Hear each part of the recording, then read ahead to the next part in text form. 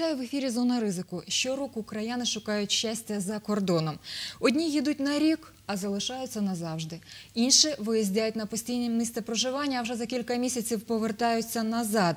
До чого готуватися тим, хто вирішив податись у найми?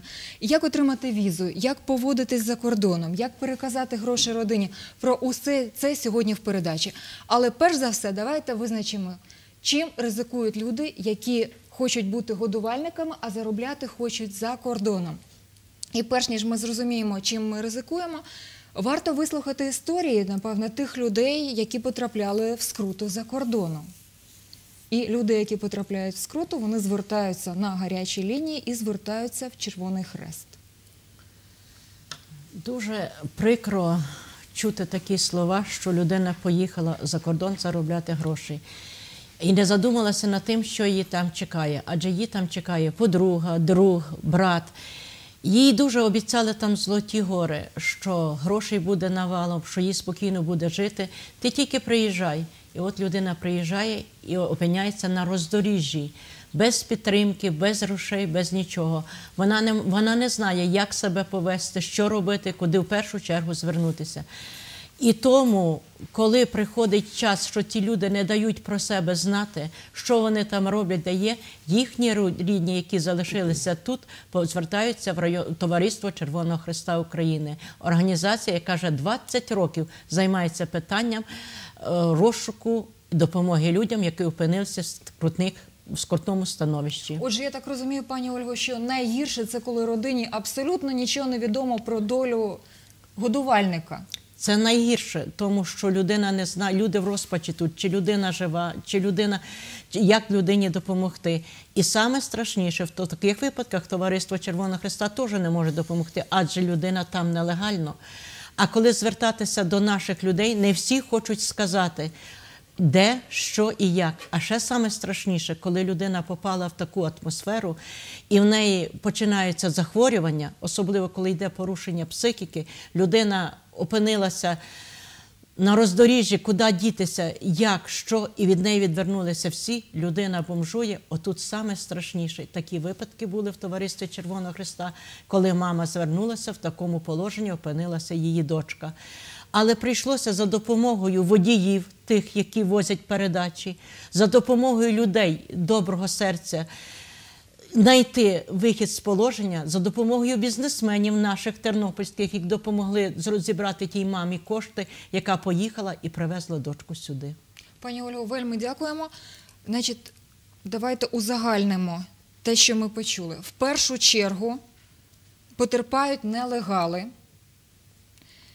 і загрожують хвороби, загрожує безгрошівлі, і навіть людина може опинитися без місця проживання голодна, холодна і без постійного місця проживання. І людина не має змоги дати про себе знати на Україну. А ті, які запросили туди, від неї відвернулися і не хочуть їй там допомогти. Отже, ви мали справу з досить благополучними людьми. Італія легалізувала багатьох працівників, скажімо так. Але і забезпечені також плачуть. З чим приходили люди до вас? З якими турботами зверталися вони до Бога і чим могла допомогти церква? Ну, перш за все, хочеться сказати, що попри моє навчання в Римі, в Папському університеті, я мав нагоду їздити до наших людей у три міста в Італії, де би, е, де мав нагоду досвід місійної праці як священник. Ем, люди, які власне там працюють, вони є засмоктані ментальністю цієї системи, до якої вони не звикли.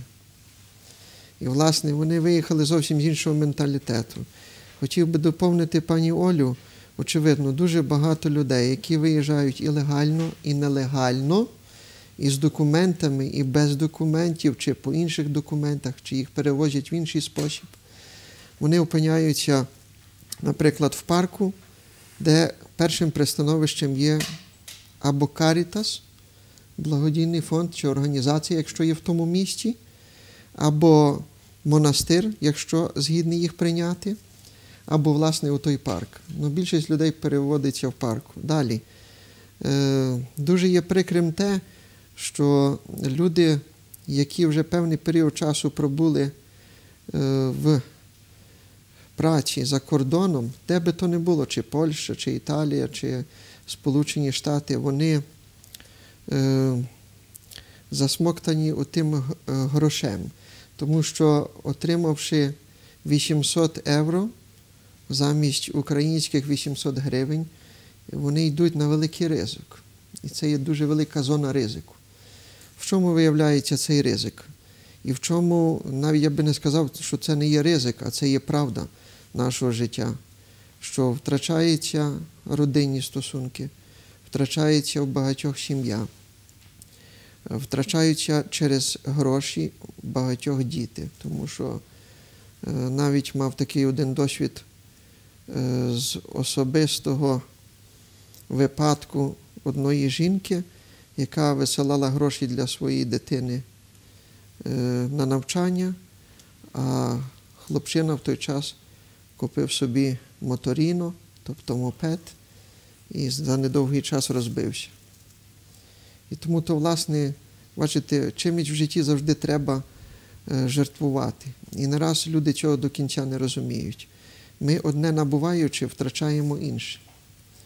І тому є дуже це є прикро. Отже, вже навіть два таких ризика з вашої розмови я собі занотувала: випробування грішми Так. і ризик втратити щось цінніше, ніж гроші. Сім'ю, зокрема, Не тільки сім'ю, навіть, скажімо, е, і життя. і життя. Тому що е, працюючи навіть в тих сім'ях чи в тих родинах, чи та жінка, чи той чоловік, вони власне попадають не раз в ситуації неочікувані, де мають різні пропозиції, не раз досить спокусливі, які заманюють, але потім це на добро не виходить. І така людина має нагоду вже потім переїжджати в те чи інше місто, позбуватися тої солодкої праці, яку мала в тій сім'ї, а то навіть і переховуватися від того чи іншого громадянина, чи то Польщі, чи то Італії, тому що був заключений якийсь неофіційний договір про невідповідний спосіб такої праці. Оскільки ви сказали за договори, мушу запитати в Тетяни, які проблеми потім мають адвокати заробітчанами чи то трудовими мігрантами тут, в Україні? Е, Я в першу чергу хочу зауважити такий момент, що е, найбільшою проблемою е, цього трудового мігрантства, яке має зараз повальний такий характер, це є неофіційний виїзд. Тобто особа, яка виїжджає офіційно, вона виїжджає на в більшості на офіційне місце роботи. е, Вона має можливість укласти контракт е, або принаймні його відре- відредагувати, порадившись е, з зокрема з, з юристами на місці в Україні і е, узгодити основні моменти е, для, ну, для того, щоб вже бути спокійною, приїхавши на місце, маючи роботу, знаючи всі гарантії, тобто в контрактах можна прописувати не тільки умови праці і розмір оплати, умови проживання, умови відпусток. Е, Зокрема, е, також дуже важливим моментом є страхування, Е, окрім страхування медичного, яке є фактично зараз мають практично обов'язково про укладені візи при офіційному виїзді. Крім того, роботодавець може самостійно входити, значить, по, крім е, оплати праці, оплачувати страховку е, працівника е, з таким чином, скажімо, обезпечуючи його від маси якихось негативних впливів і моментів, які можуть його спіткати за кордоном. Отже, Тетяно, в зону ризику потрапляє контракт. Він навіть може бути, але от є якісь нюанси, або написаний незрозумілою мовою, або чогось там в цьому контракті не врахували, Звичайно. і людина не отримує бажаного. Звичайно, хоча вже наявність контракту як такого, це вже є е, великою запорукою, е, скажімо, гарантій е, і дотримання їх цих гарантій за кордоном, коли людина прибуде туди в незнайому державу. Крім того, ну це не зовсім юридичне питання, але величезним ризиком є те, якщо людина виїжджає в країну, абсолютно не знаючи мови. Тобто це дуже важливий момент. Він е, і психологічним в тому плані, і, і також і масу юридичних проблем тягне.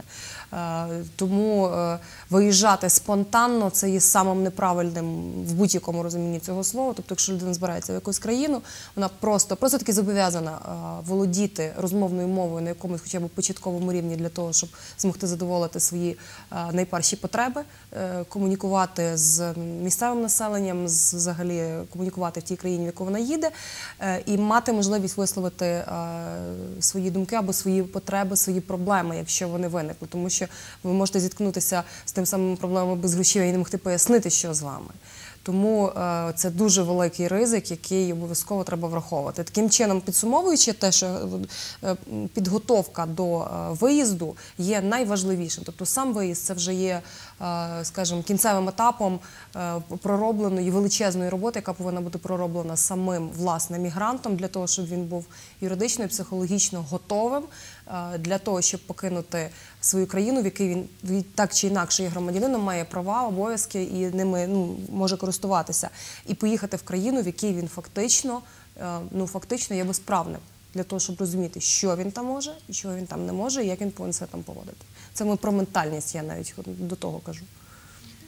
Зоряно, які питання задають люди, які телефонують на лінію з консультування мігрантів? Що їх цікавить?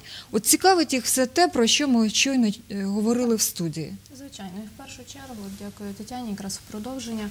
е, Людей цікавить питання безпеки. Тобто, якщо людина хоче е, добре себе почувати, виїхавши за кордон, вона повинна подбати про це заздалегідь. Вона повинна дізнатися, як мінімум, як має проходити процес виїзду за кордон, що потрібно з собою взяти, мається на увазі, які документи потрібно з собою взяти, і як оформити правильно цю процедуру виїзду за кордон для того, щоб потім почувати себе в безпеці. Наша лінія якраз для цього і створена і працює починаючи з 2006 року. Зателефонувавши до нас, люди можуть дізнатися. ем, Кроки, які вони повинні зробити для того, щоб легально виїхати за кордон, Е, можуть дізнатися список документів, які вони потрібні, е, які потрібно підготувати для того, щоб відкрити правильну візу. Наголошую правильну візу, тому що дуже часто е, українські громадяни не знають, що, наприклад, по е, туристичній візі людина не має права працювати за кордоном. Е, Вони думають, що ну є віза в паспорті, от і добре, от і їду. А насправді працювати дає право лише робоча віза, і е, для того, щоб її отримати, потрібно мати звичайно ж контракт. Е, На даний момент лише з Республікою Польща у нас є спрощений режим виїзду на роботу, і лише до Республіки Польща можна поїхати на е, заробітки, не маючи контракту, а маючи лише запрошення або так звану заяву А роботодавця. Росія? Е, Росія, е, ну у нас е, дуже часто зараз практикують е, спосіб виїзду знову ж таки, е, ну на так званий, якби ну в гості, так до 90 днів. Чому в нас так часто їздять, е, приїжджають і виїжджають з Росії? Тому що 90 днів е, є можливість перебувати без реєстрації, без оформлення офіційного на території Росії. Відповідно, через 90 днів треба або зареєструватися, або повернутися назад в Україну. Під час цих 90 днів людина не має права працювати, якщо в неї не підписаний контракт з роботодавцем, і якщо вона знову ж таки не зареєстрована тим роботодавцем, не поставлена на облік. Дуже багато українців працюють якраз за такою схемою, ну як, як називають у нас на чорно. Тобто вони працюють без документів, і відповідно дуже багато випадків е, таких є, коли їм потім не оплачують їхню діяльність або оплачують не так, як домовлялися попередньо, тому що ну документально нічого не підтверджено. Не На словах- отримати бажаного. Так. От можна окреслити Це таку. основне, так що може статися з людиною. Отакий ризик, так? І тут треба подбати про документи, про правильну візу. І в зону ризику в першу чергу потрапляють, е, напевно, ті, хто не змогли знайти роботу в Україні. Так, Галина? Якраз з такими людьми ви працюєте. Та, ну, оскільки при зверненні в центр зайнятості людина, перш за все, надіється знайти гідну роботу, то рано чи пізно вона, зіштовхуючись е, з пошуком роботи, може визначити для себе перевагою виїзд за кордон. Саме тому е, ми, е, спрацюючи саме з потенційними мігрантами, тими людьми, які є безробітними, надаємо інформацію у вигляді інформаційних семінарів для того, щоб людину проінформувати про можливі ризики. Також е, маємо А мож- звідки ви про ці можливі ризики знаєте? Е, Звичайно, що е, е, співпрацюючи з різними громадськими організаціями і запрошуючи їх до себе в гості, ми маємо можливість наочно ознайомитися з різноманітними даними, які пов'язані з проблемою виїзду за кордон. І людина, яка перебуває в нас, е, маючи можливість ознайомитися з цими матеріалами, вона для себе більше визначає, на що потрібно звернути увагу. І тому е, Галина, а на ваш погляд, на що в першу чергу треба звернути увагу? Який ризик от, з тих, які ми вже перераховували, Е, найбільший? Чи можливо є ризики, які не назвали? Е, Найперша мотивація людини до праці полягає в фінансовому аспекті. І саме звертаючись на фінансовий аспект, людина визначає для себе місце працевлаштування. Але е, коли вже починається момент праці, то людина починає звертати увагу ще й на психологічний мікроклімат. Тому при виїзді за кордон повинні враховувати також соціальний аспект, е, соціальний статус людини за кордоном, як вона буде почуватися серед інших громадян, серед іноземців, наскільки вона зможе відчути свою е, по- потребу саме в тій країні, і наскільки вона буде соціально захищена, тому що соціальний захист, медичний захист, абсолютно людина, якщо ми розглядаємо нелегальне працевлаштування, то він тут абсолютно нівелюється. І як може людина потрапити в такі ризики? Звичайно, що надає. Ми маємо можливість І знову ми надати. підкреслюємо те, що найбільше ризикують нелегали. нелегально І думаю, що сьогодні є сенс про це поговорити. Але ми ще не вислухали Світлану Миколаївну, яка не раз спілкувалася з сім'ями тих людей, хто виїжджає за кордон. Який ризик для сім'ї, яка залишилася тут? Людям варто шукати кращої долі. І однозначно їдуть за кордон не просто так для розваги, а для того, щоб знайти себе, заробити кошти, допомогти своїй сім'ї, допомогти вирішити якісь проблеми. І залишаючи тут свою сім'ю, найбільше ризикують, звичайно, жінки, які залишають неповнолітніх дітей. Адже шукаючи щось кращого, можна втратити те, що маєш. Виїжджаючи за кордон, в першу чергу треба подбати про свою дитину. Яким чином вона тут залишається, з ким вона залишається. Чи буде поряд людина, яка подбає про неї в будь-яку хвилину, і в хвилину радості, і в хвилини турботи.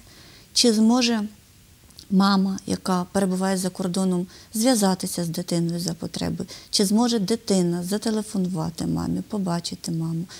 Ну, ми знаємо, що життя непередбачуване, і в Україні за цей час, навіть якщо ти знаходишся за кордоном цілком легально, з робочою візою, зі всіма вдалими контрактами, чи можна терміново повернутися додому, коли є така потреба?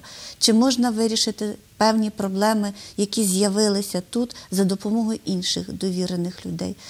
Як це все можна зробити, потрібно теж, я вважаю, знати наперед. Передбачити, інколи ми не хочемо передбачати чогось неприємного, але ну, варто бути готовим до будь-якої ситуації, щоб потім якимось чином могти дати раду собі і ситуації, яка склалася. Крім того, я хотіла б відзначити в контексті ризиків, що останнім часом все-таки на те, що велика кількість нашого населення виїжджає за кордон, і на те, що ця велика частина населення ризикує, звернула увагу наша держава дуже детально. З 2011 року в країні діє закон про протидію торгівлі людьми. Прийняті постанови Кабінету міністрів, які передбачають механізм взаємодії органів державної влади при допомозі людині, яка постраждала від торгівлі людьми. У нас уже Отже, діє таке ризик- поняття, як статус людини, яка постраждала від торгівлі людьми, і так далі. Найбільший ризик це, мабуть, постраждати від торгівлі людьми. Ну, однозначно, це дуже великий ризик. І найцікавіше те, що люди, які перебувають нелегально, вони якраз ну, така група ризику, скажімо, тому що такою людиною набагато легше зманіпулювати і на неї набагато легше вплинути. Якщо людина розуміє, що вона поїхала за кордон і е, якось не, не до кінця правильно вона так там перебуває, тобто вона якби ем, початково вже є правопорушником в, з точки зору держави, яка прийняла то відповідно на неї досить легко потім чинити моральний і психологічний тиск і е, вимагати від неї якихось дій, які е, в нормальних умовах людина би не захотіла виконувати. До нелегалів ми ще зараз повернемося, але перш ніж ми це зробимо, хочу запропонувати вам переслухати і переглянути один запис. Нам довелося нашій знімальній групі поспілкуватися з людиною, яка працювала за кордоном і не один рік. І от що він радить тим, хто також хоче заробляти за кордоном. Перш за все, людям необхідно звернути увагу на ту країну, яку вони їдуть. Моя така особиста рекомендація це Наприклад, якщо людина вирішила їхати до Америки, їй потрібно якомога більше черпнути інформацію в тому місці, з якого вона їде. Тобто це можуть бути мовні курси. Якщо вона чітко знає, в яке вона місто їде, вона може попробувати пошукати людей, які вже там були, і розповісти в них конкретно, які можуть бути ситуації по тому місцю, куди вона їде. Тобто, які там люди проживають, які там є види робіт. Чітко можливо показати контракт людині, яка була на якійсь подібній роботі, і щоб вона підказала їй безпосередньо, які можуть бути нюанси по тому чи іншому питанню на тому місці. Гарантії вам не дасть ніхто. Тобто тут, напевно, що залежить 90% від людського фарту і від того, як фортуна лежить на стороні тої людини. Довіряти людям, ну як і тут, так і за кордоном, не особо, скажімо так, легко. Але ймовірність того, що вас там надурять, мабуть, буде меншою, ніж тут. Кому тут можна довіряти? Тут можна довіряти людям, яких ви, напевно, знаєте декілька років, таких провірених людей, можливо, близьких родичів, але. Знову ж таки, на 100% на них не потрібно. Тобто ви мусите чітко усвідомити, що ви є ви, і вам за кордоном, якщо потрапити якісь халепи, буде спитати тільки, тільки ваш якийсь там характер чи проявлення себе в будь-якій ситуації. Цього не зробить за вас ніхто, ні ваш друг, ні ваш родич. Ви мусите просто надіятися тільки на себе. Виїжджати, звісно, що краще офіційно. Звісно, це зробити набагато важче. Є моменти такі. Можна зачепитися спочатку на декілька місяців на чомусь такому простішому, але вже безпосередньо на місці тому, куди ви їдете, е, шукати варіанти такі, які вас там зможуть затримати на декілька років з подальшим, можливо, отриманням громадянства. Ну, це, звісно, що так дуже сказано грубо, але на це варто звернути увагу. Так, щоб е, їхати нелегально, ну я думаю, мало хто таке захоче, і це має бути якась дуже критична ситуація. Тому що якщо ви порушите закон тої чи іншої країни, десь в Європі чи будь-де в світі, ви ризикуєте тим, що вас більше просто-напросто не пустять, і ви будете мати такий занесений чорний список. Є такий список, який мають митники по всьому світу, і у вас просто буде подальшому проблема з виїздом до будь-якої країни. Тобто, все ж таки краще їхати тільки легально і шукати тільки легальні варіанти. Получається, якщо ви їдете легально, ви йдете конкретно до якогось роботодавця, який вже вам сюди прислав контракт, і він практично що відповідає на 100% за ваше перебування там за кордоном. Тобто, в разі якихось форс-мажорів, навіть випадкам зі здоров'я, він несе повну відповідальність за вас. Оце, власне, і є велика перевага того легального перебування. Якщо ви йдете нелегалом, за вас відповідальність не знає ніхто. Все, що ви маєте при собі, це якщо ви.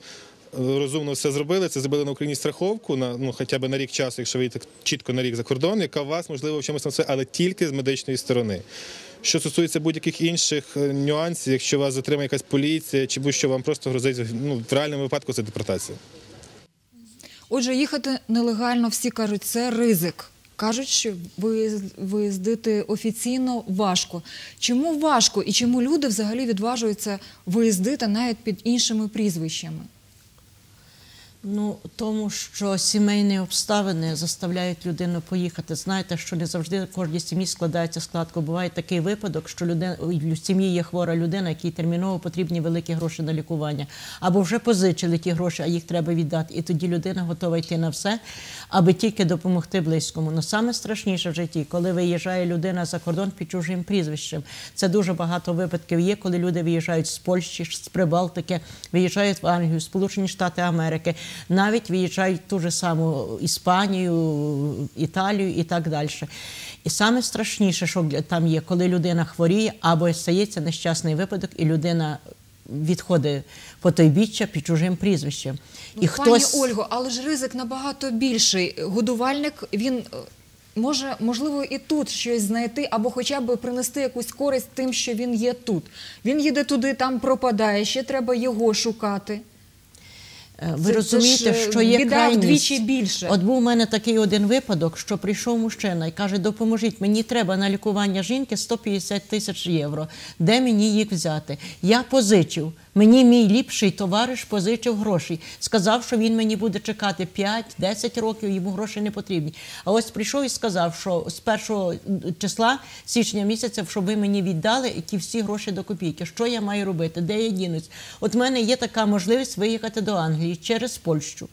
Я кажу, ну і що далі? Але я їду під своїм чужим прізвищем. Я йому наводжу такий приклад, що був одного на початку 2012 року звернулася до мене жіночка, чоловік якої поїхав з Польщі на роботу в Англію, і там загинув в автодорожній катастрофі. Повідо... Їй близький його друг повідомив по телефону, що він загинув. Вона прийшла. Як забрати сина з Англії, щоб похорони... захоронити по наших традиціях на Україні? Я її розкажу, що такого неможливо. Такої людини за кордоном немає. Є людина, під яким прізвищем виїхала. Що зробити? Я кажу, для того, щоб людину переправити тіло за кордоном людини сюди на терени України, потрібно раніше було 5 тисяч доларів, зараз не менше 8 тисяч доларів. Крім того, потрібно куча офіційних документів. Там е, є свої всі нормативні правила і так далі. Вона каже, що мені робити? Я кажу, а вам нічого не залишається, як попросити тих, що вам зателефонували, хай вони спалять то тіло, похоронять урну, а ви тут ці традиції нашої е, релігійної культури, що треба, ви тут це зробите. Тому що ті гроші, які вам зараз потрібно затратити на повер... на провезення тіла в Україну, а вам ще віддавати борги, які ви позичили для того, щоб він відправився туди на роботу. Дуже таких багато випадків. Я знаю, що крайність доводить людей, що треба їхати, але треба задуматися над тим, яку ви біду лишаєте тут, що будуть робити ваші рідні після того, як вас не стане. Хто буде віддавати ті гроші, хто буде опікуватися і хто буде допомагати їм, ще коли в сім'ї є п'ятеро дітей, із них двоє інвалідів. І мама ніде не працює. До цієї теми, е, і, і так пригадуючи, наскільки е, вихваляла е, досконалість нашої системи з приводу соціальних якихось гарантій е, пані Світлана, на жаль, так не є. Констатувала. Констатувала, вихваляла в плані того, я розумію, як е, державні службовці вони змушені це робити. Однак я напевно єдина цій студії можу дозволити собі сказати те, що е, на дуже низькому рівні є в нас законодавча база, яка регулює, зокрема, такі ситуації. е, Як е, щойно ми е, почули від пані Ольги е, стосовно повернення, тіла померлого з-за кордону. Е, Тобто є ряд нормативних документів, які визначають порядок, е, зокрема, зокрема той, що людина, яка відбуває за кордон, е, повинна передбачити те, е, хто і яким чином, і що вона, по-перше, хоче бути похована на Україні. Це є важливим таким моментом. Ми знову таки повертаємося до офіційного виїзду. Е, Далі е, повинна бути залишена контактна особа, яка буде мати право е, перевезення такого тіла. Це Тетяно, а якщо в контракті це прописано? Ну, це не контракт, це зовсім інша процедура. Вона відбувається шляхом завірення через контракті місце- таких речей не це не контракт. Це питання є циві- Окремий цивільного характеру, так які до, до трудового працевлаштування не мають ніякого відношення. А де є гарантії, що це виконають? Е, Принаймні буде вже юридичний аспект, з якого можна буде виходити. Крім того, е, оскільки кожна країна сама для себе регулює порядок е, захоронення і переправлення з іноземців е, тіл е, іноземних громадян, є ще скажімо, постанова Кабінету міністрів України від 2003 року, якою регулюється порядок поховання громадянина України, померлого на території іншої держави. Визначається перелік документів, які необхідні для того, щоб тіло в'їхало тільки в Україну. Це є свідоцтво про смерть. Е, І довідка е, відповідної установи про те, що в труні і в тілі померлого або в від- відповідно в урні з прахом немає ніяких вкладень, не дозволених для перетину для перетину кордону. Всі документи, крім того, що якісь е, Якщо померлий взагалі без документів, як знову ж таки як встановлювати його особу?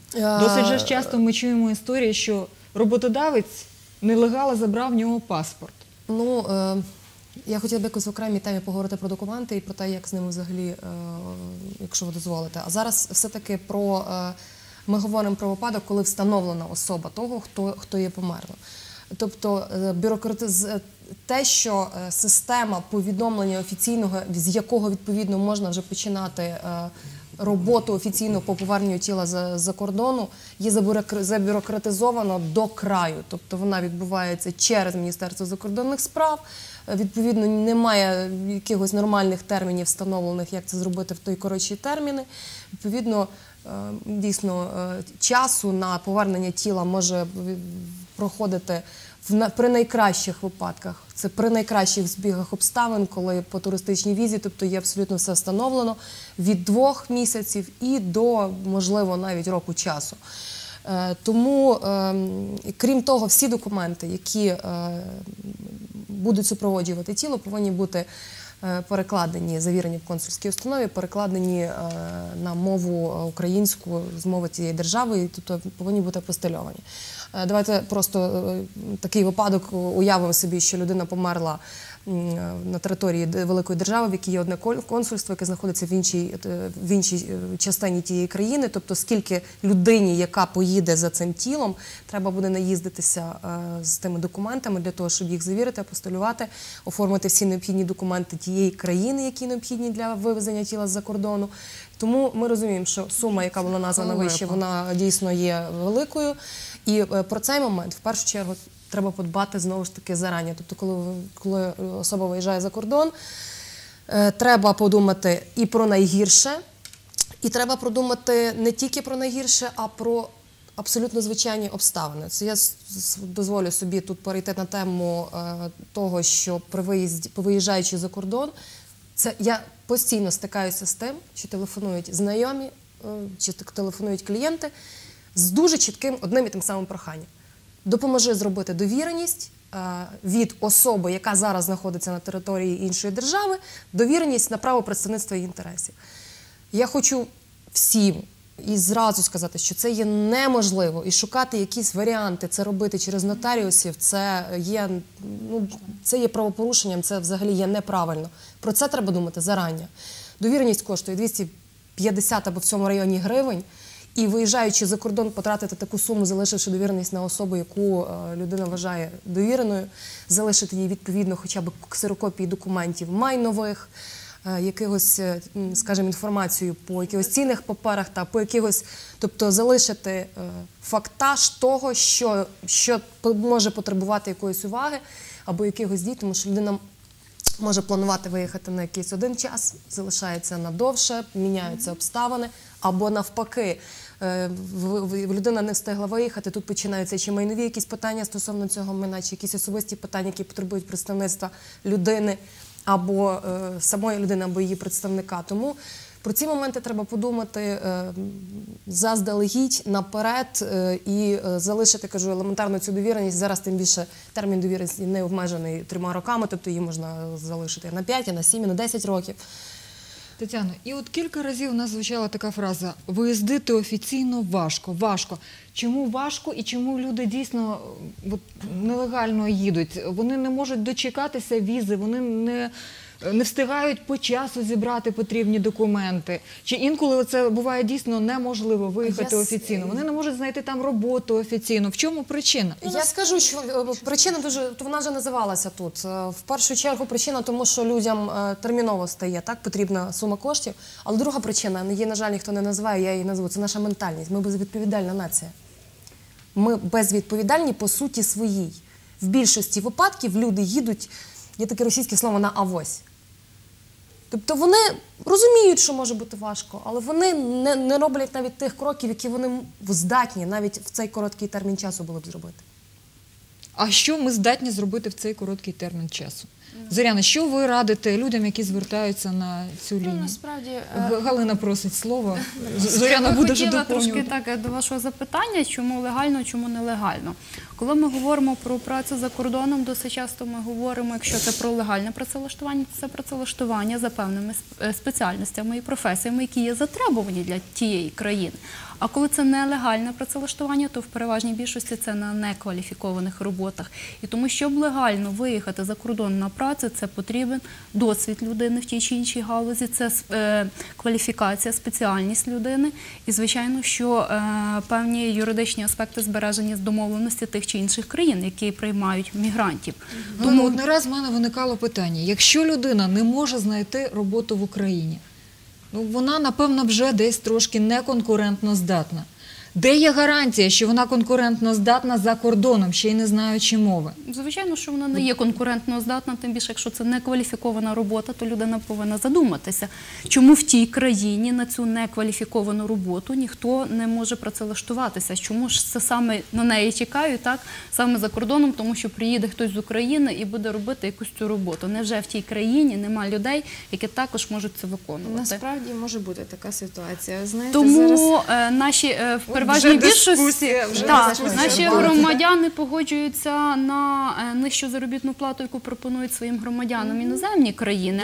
Але для нас і оплату і для тої країни. так, і Але тому це цілком реальна ситуація, коли не раз вже також чую із з уст своїх знайомих. Наприклад, та сама Польща, дуже багато поляків вони виїжджають там до Німеччини, припустимо, тому що там набагато більші зарплати. Відповідно, в Польщі ринок праці е, відчуває брак в е, взагалі в робочих руках, і відповідно вони приймають е, українців Але на вони таку хочуть роботу. кваліфікованих, мабуть, Ем, робітників. Чи не завжди? Некваліфікованому можна менше заплатити, але ж можна, він зіпсує. той можна, але переважно некваліфіковану працю, якраз ну от через те, що, що ми от е, дозволяємо собі виїжджати е, нелегально, то відповідно і можна її якби нижче оплатити. Так, хоча, е, наприклад, е, до Канади є е, спеціальні програми, навіть державні, де потребуються не обов'язково люди з вищою освітою, не обов'язково висококваліфіковані кадри. Потребуються люди з е, ну, нашою професійно-технічною, скажімо так, освітою, робітничі професії. Це можуть бути е, теслярі, це можуть бути електрики, це можуть бути е, люди, які знаються на розділюванні м'яса, тобто будь, будь-які робітничі професії, але люди про це не знають. І через те у нас побутує думка, що легально виїхати це важко, це довго, це страшно, це будь-яких це багато. стереотип, який Я б треба сказала розбити. так, так? Що насправді це, Це стереотип ем, чи ні? Е, Я от, хочу сказати, от такий момент, ми навколо нього крутимося, але не можемо ніяк його назвати. Е, можна виокремити дві е, принципово різні категорії громадян, які е, йдуть на міграцію. Тобто, е, це, ну я собі дозволю, можливо, їх є більше, і ми можемо це зараз обговорити. Є категорія громадян, які виїжджають терміново від злиднів, але це, на жаль, це верніше, це абсолютно далеко не всі. І є категорія громадян, які дійсно шукають собі кращої долі. Тобто, як правило, оця друга категорія громадян, вона має трошки часу в запасі. Е, Вона не їде е, від якогось конкретного лиха. Вона їде дійсно, вона хоче жити добре, вона хоче е, працювати і заробляти своєю професією. Ми практично всі маємо професії, і більшість з нас не працюють за ними і не заробляють собі ними на хліб.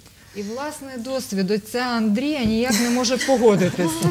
Є третя хотів- думка, це дуже Я добре. би хотів трошки вас всіх доповнити.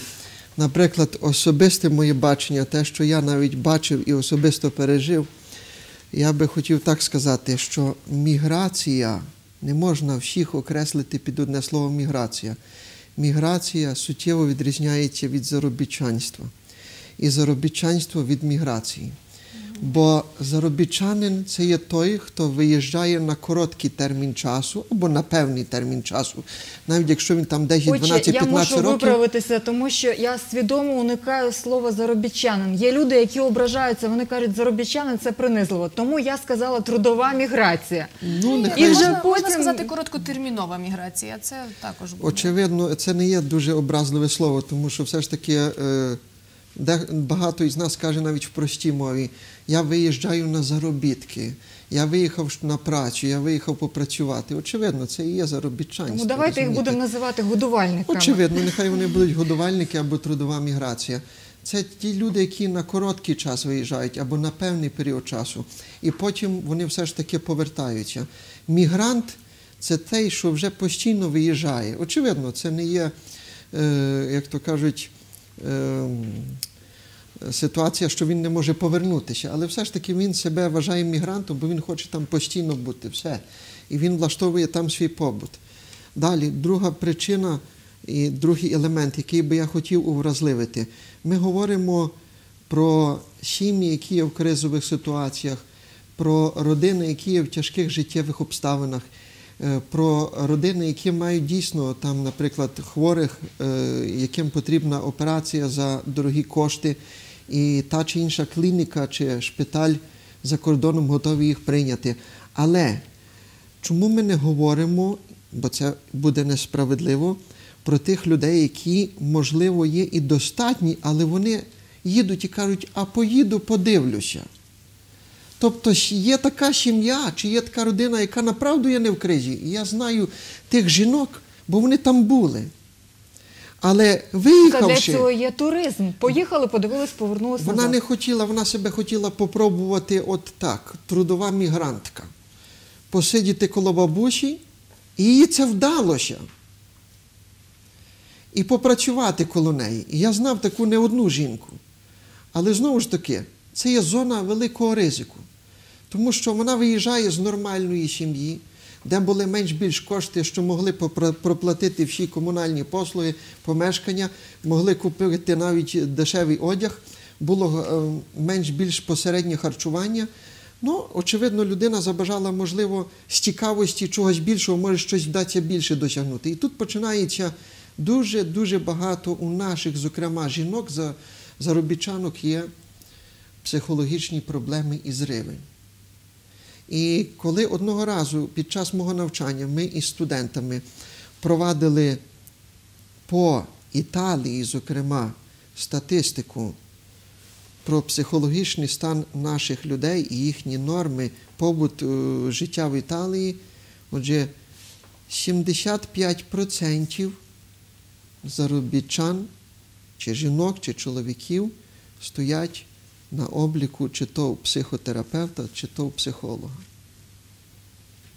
І це є дуже велика загроза. Далі, жінка, мама, коли повертається назад до сім'ї, вона не раз є здепресована тим життям, тому що закрити людину на 24 години в одній кімнаті, чи то навіть в великому помешканні біля самітньої жінки, це є добре, але для здорової особи, яка сидить біля тої жінки, яка потребує е, компанії, скажімо, ні, так, в, їхньому, в їхній манері, побути за компанією там, чи щось зготувати їсти, можливо, навіть коли старенька жінка і ходяча, але все одно для молодої людини, яка звикла постійно рухатися, чи навіть і для молодої, але вже зрілої, постаршої особи, це дуже є психологічно багато проблем і таких депресивних станів. Тоді, коли мама повертається додому, така жінка, вона не раз це все, що затримала за той рік чи за пару місяців, вона може це все відбуватися на дитину, і туди дитина не впізнає свою маму. Е, Деколи буває так, що е, померла старенька бабуся, яку доглядала наша жінка. І туди, власне, добре, що є благородна сім'я, що ще скаже, живи в помешканні моєї мами, доки не знайдеш собі іншу працю. А коли зразу сім'я не готова і зразу каже, йди де хочеш. Це добре, що коли є місце в каріташі, що можуть прийняти на 10 днів помешкання і на місяць часу харчування. А коли нема такого, куди діватися? Отже, я думаю, зараз буде доцільно переглянути один сюжет, щоб ми зрозуміли, що є причиною, що є наслідком цих психологічних проблем. Мала академія наук, студенти старших класів і наукові під керівництвом наукових е, керівників досліджували от саме причини, чому ж люди з Західної України виїжджають. Я думаю, нам буде це корисно подивитись.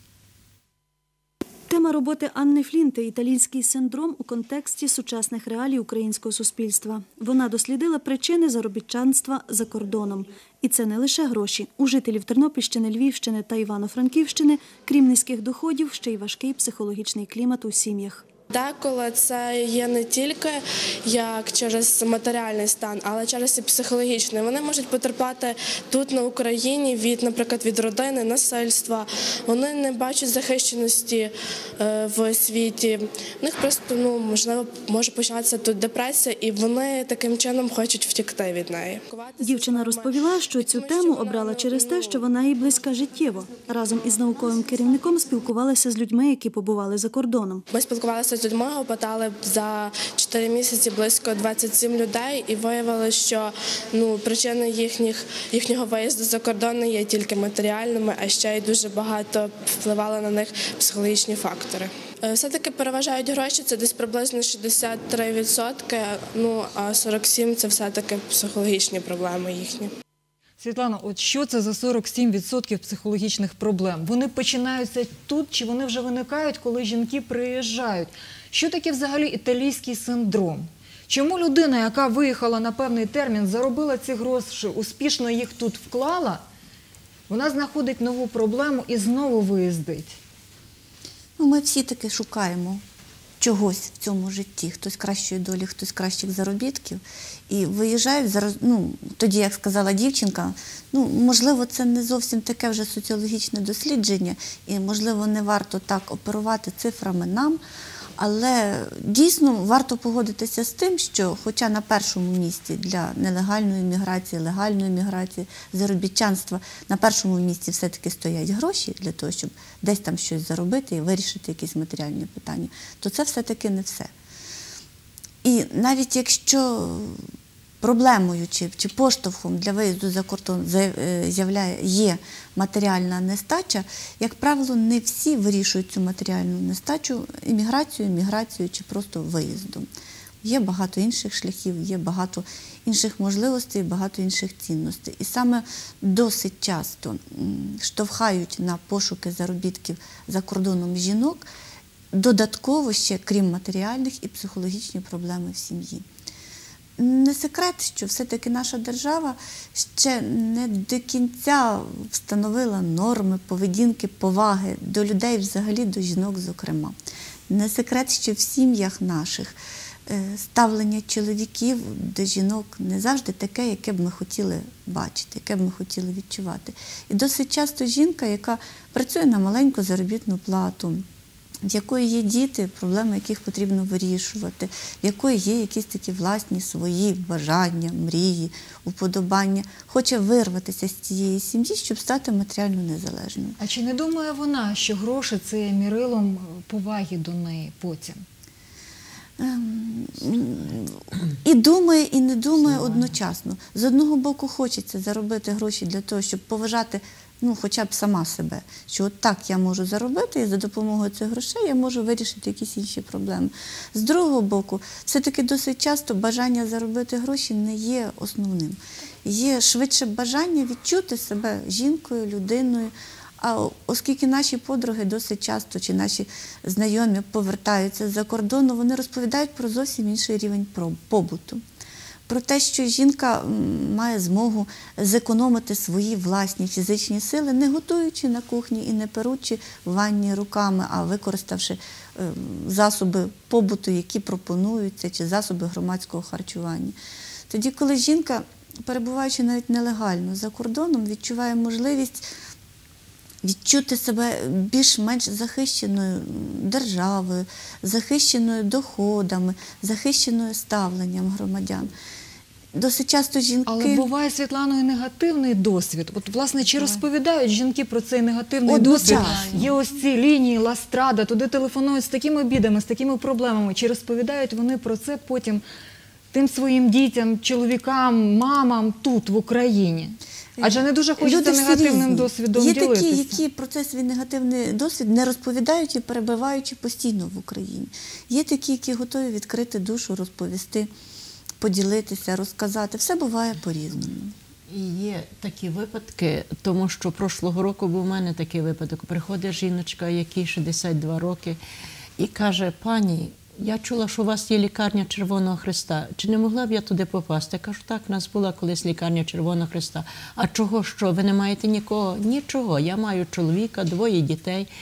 От вісім років я була за кордоном, заробляла великі гроші. Я доглядала двох психічно хворих старих людей одиноких. Мені платили по півтора тисячі євро в місяць. Я гроші передавала сюди.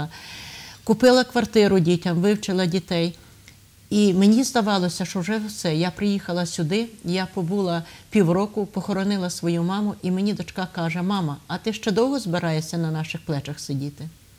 І вона з розпачу не знає, куди подітися. Вона втратила повагу. Вона хотіла заробити повагу, а вона заробила зневагу. Чоловік пішов до іншої, діти від неї відреклися. Внуки казали, бабця, ти ж не маєш зараз грошей, а на що ти нам потрібна?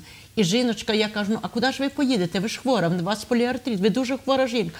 А вона каже, а що мені лише залишається робити? Позичити гроші і поїхати. Поїхала жіночка.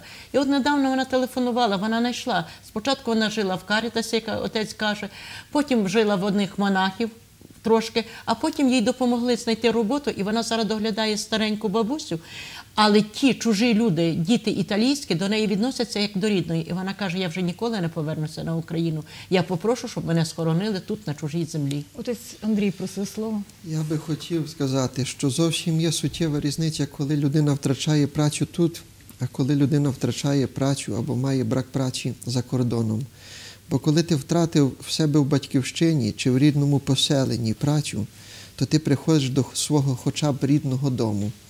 і твоя дружина тобі каже: сідай, я тобі дам повечеряти, а завтра будемо телефонувати.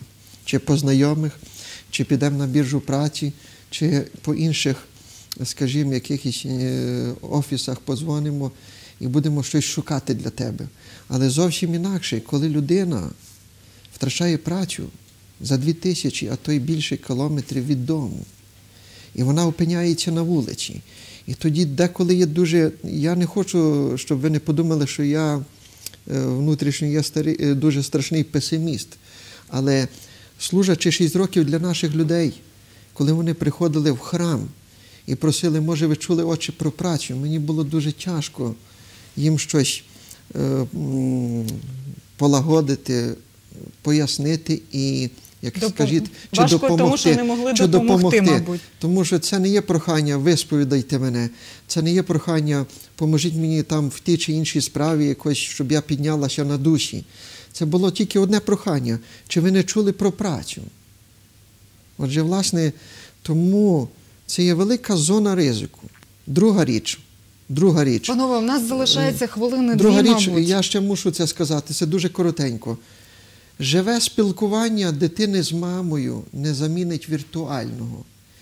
І як би ми, власне, не мали здобутків через інтернет, через комп'ютерні досягнення, власне, мусимо зрозуміти одне: мама не може обійняти через скайп дитину. Мама не може поцілувати так, як би мала поцілувати дитину. І мама не зможе дати того тепла через скайп чи через ICQ, якби вона, власне, те робила чисто природньо, так як вона це робила до того часу, поки не виїхала. Тому лише одне прохання. Коли людина виїжджає з якоюсь ціллю заробити на хату, чи довчити дитину, чи зробити їй весілля, чи якась інша потреба, віддати борги, чи оплатити лікування, виїжджайте, але майте тут тільки одну ціль. І коли ви її досягли, негайно повертайтеся додому. Щоб це не була плотанина вашого життя, тому що потреби в житті є до смерті, і навіть коли б людське життя продовжувалося, ще би було. Власне, треба мати Краще, одну мабуть, я не скажу, але мені чомусь здається, що надати допомогу людям, надати найбільше інформації і оформити потрібні документи треба тут, в Україні. І тому е, всім тим організаціям. спочатку знайти роботу тут. Якщо вже е, ну, потрібно звертатися, всіх повідомляти, всю, е, різноманітні організації, зокрема центр зайнятості, тому що можливо, якраз там, де не чекаєш, а ти роботу знайдеш. Ну, якщо вже таки намірилися, то все-таки спочатку подумати про власну безпеку, зателефонувати на нашу лінію. Вона діє по всій Україні. Можна зателефонувати як з мобільного, так і зі стаціонарного. Це безкоштовно для наших громадян, і відповідно вже тоді вирішувати, що робити далі. І чи не найос- найосновніше, Тетяно, які документи треба з собою мати, які не можна віддавати в руки ні роботодавцю, нікому, фактично.